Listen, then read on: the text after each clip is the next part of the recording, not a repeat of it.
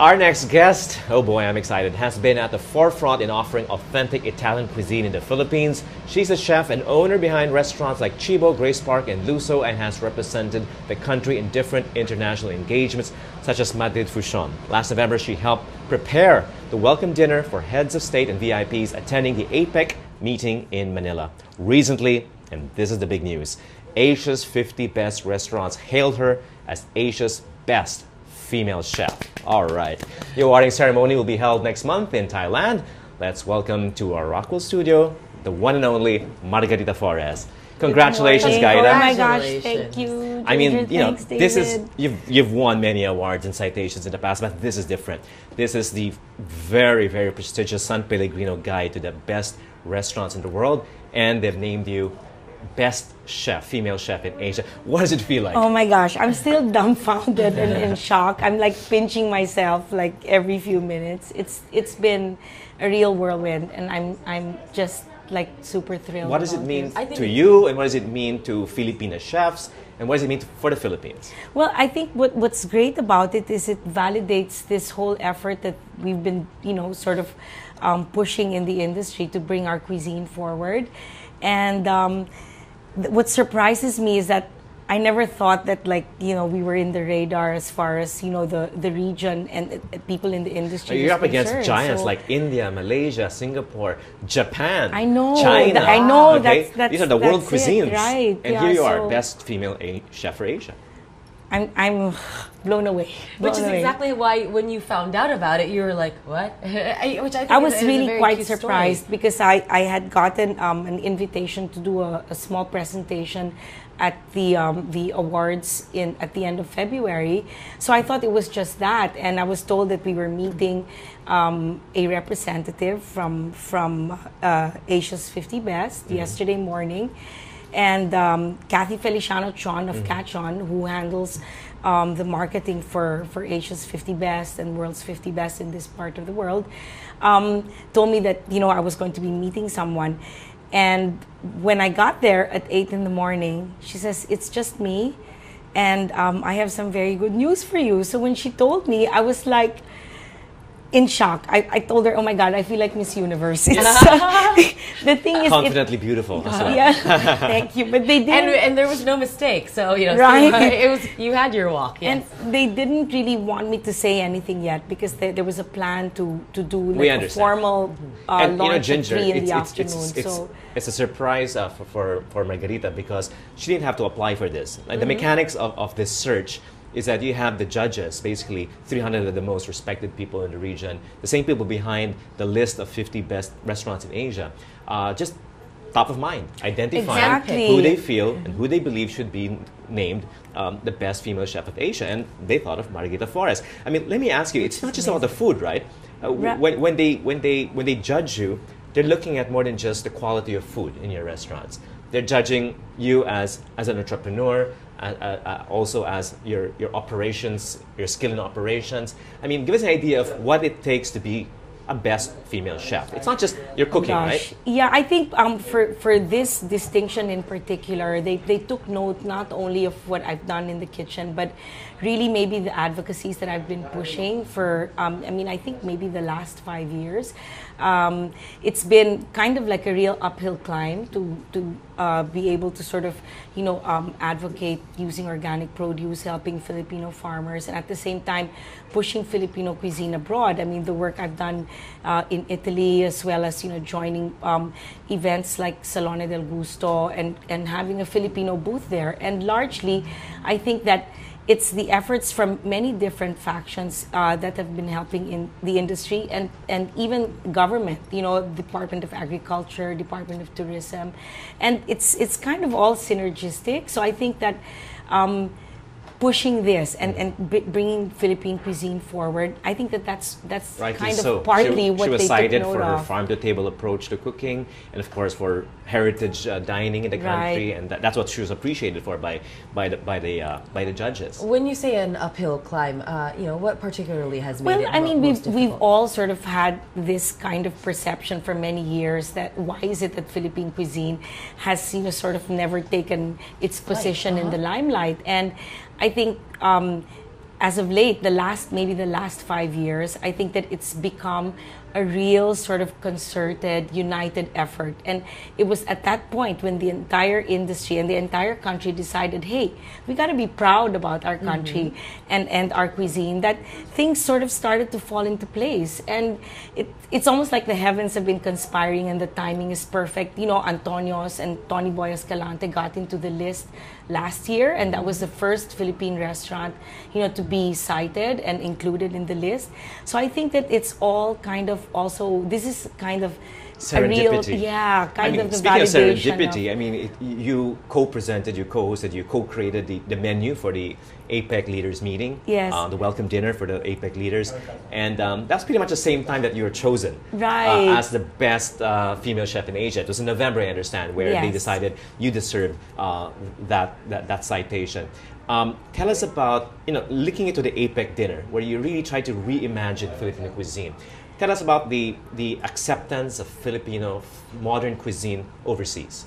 Well, because you I, proved it in that in that APEC dinner. Right. Well, um, it it really is about I think being able to to have kind of the the the outlook of what an outsider would sort of um, see with our cuisine mm-hmm. that kind of point of view to be able to make it acceptable i mean at the first at the first instance and with apec what we did is we took very basic dishes mm-hmm. but kind of interpreted them in a very modern way mm-hmm. and also kind of used ingredients that were unlikely things that we take for granted in the philippines things like alugbati flowers and all of that and i think it it makes the whole product so much more interesting and um, as as uh, as as far as the the APEC um, dinner was concerned as well, you know, it was a combination of Tita Glenda's very classic approach and my kind of maybe more innovative approach, and it worked out really well. You know, she kind of was a trailblazer for all of us women chefs in the industry. So but taking it from there, yeah. from that dinner,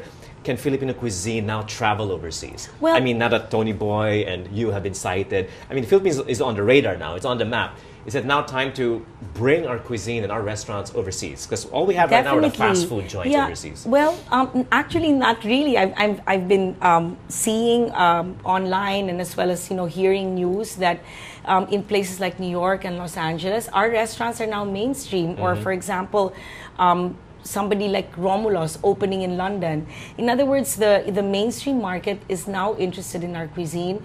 There are industry um, studies about trends for 2016, and Filipino food is prominently there. So it's, uh, I think we've arrived. So it's, uh, it's no longer, the, I think the uphill climb is kind of done. I think that we've achieved our mission, and it's really just kind of like bringing, bringing um, it sort of more widely all over. Well, hopefully we've been uphill climbing and then we'll plateau uh, up there toward, towards the top. I just want to uh, touch on, you know, kind of the, the girl power uh, segment of it, you know, and, and you said as far as uh, women chefs are, are, concerned, I mean, the industry is, is dominated uh, by, by men. The big star chefs at uh, least, you know, right? I the mean, celebrity chefs are mostly male. Yeah, yes. but I think so, that, you know, this, this whole industry is really about nurturing and feeding, and mm-hmm. that comes so naturally to a it's female a chef, right? Yes. Because because of our maternal instinct. So I think that we're perfect for the industry, and I think that that's why um, they're actually now they say especially in, in the philippines in culinary schools there are more female students now than, than males so it says a lot about the future of the industry. So we're very happy. And you being of course uh, named uh, you know best female chef now kind of just opens the floodgates uh, as far as you know uh, well female chefs in the, in the country maybe and also obviously inspiring more uh, across the region. Where do you want you know kind of to see it go? Uh, well, you know, when I when I started 30 years ago, I remember being in the Hyatt kitchen for a food festival, and I was the only female. Mm-hmm. So I'm I'm happy that maybe along the way through the years I've inspired other female chefs in the Philippines to be interested in the industry and, and I think that it's so great because there there's there's also an insight from a from a female point of view that's very different and it it works very sort of perfectly, you know, with with with having a, a male chef and a female chef together, working together. Well, that's what I was going to ask. You know, yeah. maybe there's that, uh, there's that, in, you know, women's intuition, you know, right? And then you know, a certain also, gentleness that also sort of you know complements the the very sort of strong male personality in the kitchen. So it's uh, It Perfect. used to be that if you wanted to, to, to be internationally known, you wanted to, to, to, to bring your cuisine overseas, you had to take on very a very Western approach. Um, do you think the Filipinos now, with these awards and because of you know, uh, we have a, a new generation of chefs, do you think there's that confidence now to, to just really be Filipino with our cuisine? Definitely, I think so, and I think that because the West is also looking to our part of the world for inspiration, we really should be sort of more assertive with bringing out what's authentic, what's you know endemic to our regions, and and really pushing um, what's I guess truly Asian, truly Filipino, because that's that's what they look to for inspiration now all over the industry. There's Asia and there's Filipino. Let's Yeah. talk about what is genuinely Filipino because that, that, that can't be lost, right? Right. I mean, when you talk about Thai, you talk about Indonesian, Ja- Japan, Chinese. I mean, it's very distinct. I mean, if you were to describe, because you'll be going around the region, I understand they're, they're as we speak, organizing a, perhaps a speaking tour around the region. What, what's your message to the rest of Asia as a Filipina? Well, I think that um, what would be good is to sort of um, present what's unique about us. I think we're the only Latin Asians in, in, in the world, and aside from that, um, it's it's um, better, I think, to present our cuisine in, in its in its perfect um, sort of halo halo Okay. state because that's really what That's it who is. we It's a melting pot cuisine instead of trying to box it in. And we, we should really sort of um, push the fact that it's more than just adobo, pancit, and lumpia. There's so much that's still undiscovered. Um, I've had the opportunity to travel all over the Philippines uh, uh, lately, you know, from going to Batanes to, to Bohol. And in every part of, of the Philippines, there's something new and something interesting. And all of this, the regionality, I think, is what we, we should be able to sort of um, promote. And um, that allows a, s- a wide range and a very sort of diversified um, scope of things to discover. So. Well, I was going to say you're inspiring uh, a, lo- a lot of uh, people, uh, may- maybe uh, mostly f- uh, females as well in, in the industry. Uh, where are you getting your inspiration Where, from? From uh, you know, from traveling all over the country, what's really kind of speaking to your heart right now that maybe you're going to bring on uh, on, on What's the this next big thing for you?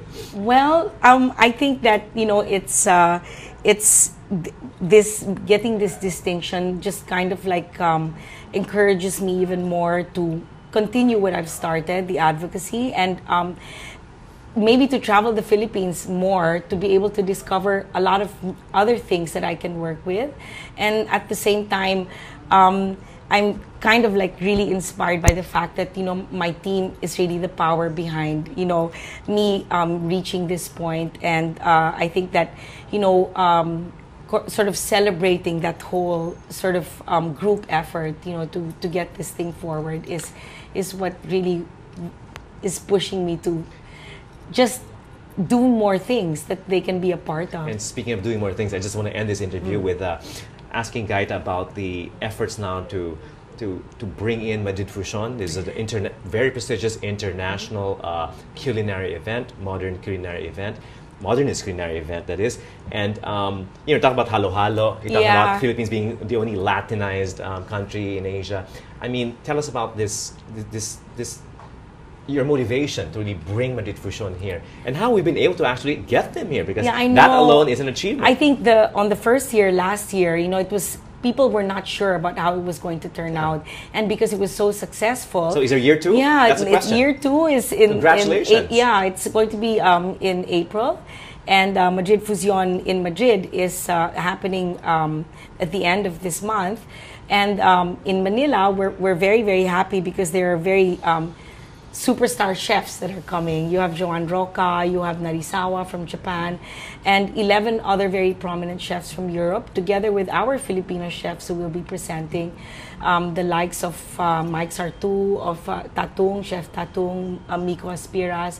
And now it's like, it's now sought after for the European chefs to come all the That's more now to come to have, Manila because they- have one of the the- organizers as Asia's best female chef. Congratulations, Thank you Margarita so much, Fores. David. Wish Thank you, the Oh, it's a pleasure to have you with to- us here. Yeah, a great 2016 for you. Right, Grace Thank Park is right next door. You might want to I'm try I'm gonna and start lunch hanging out. over there. I know. I need to. I need to come hang It's a out. walkover.